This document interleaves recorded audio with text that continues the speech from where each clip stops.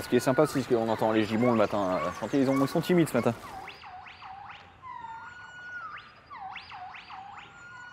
La structure du parc, c'est un domaine sur environ 65 hectares, dont, dont 13 hectares de parc qui sont visitables. Sinon, le reste du domaine, vous avez des bois aux alentours, et ça, c'est pas accessible au public.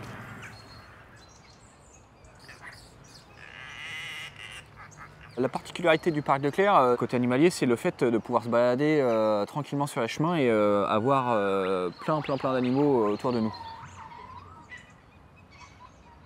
On a énormément de canards sur le parc.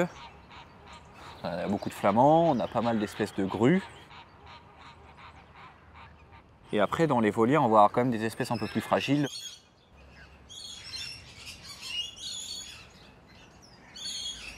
On va avoir aussi un peu, de, mammifères, on va avoir des tamarins, des wallabies ainsi en semi-liberté, puis des antilopes.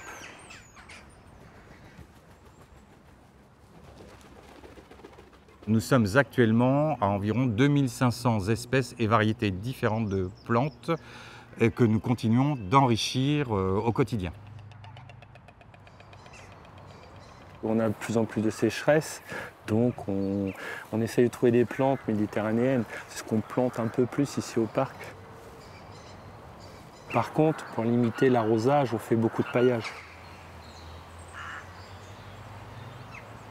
Ici, euh, nous avons mis des souches, des troncs d'arbres pour recréer des ambiances un petit peu de sous-bois, euh, troncs couchés sur lesquels poussent des plantes grimpantes, euh, comme on peut le voir dans les, forêts primaires et, dans la nature.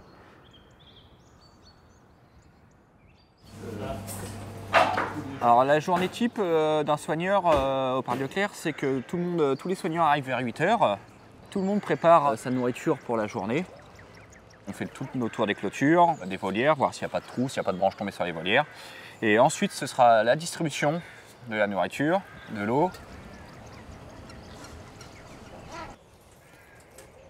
On essaie de garder quand même euh, une relation euh, de, soigneur à animal entre guillemets sauvage, mais euh, on peut dire qu'il y a une relation de confiance qui se crée au fur et à mesure du temps.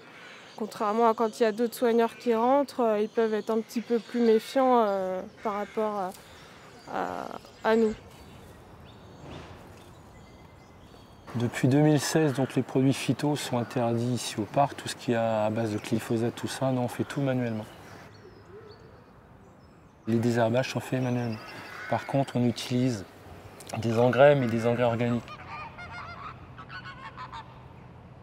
Tout le travail réalisé depuis plusieurs années maintenant par euh, l'équipe euh, des jardiniers du parc commence à porter ses fruits puisque euh, nous venons d'obtenir le label Jardin remarquable et nous ne doutons pas que Jean Delacour serait fier de cette obtention de label.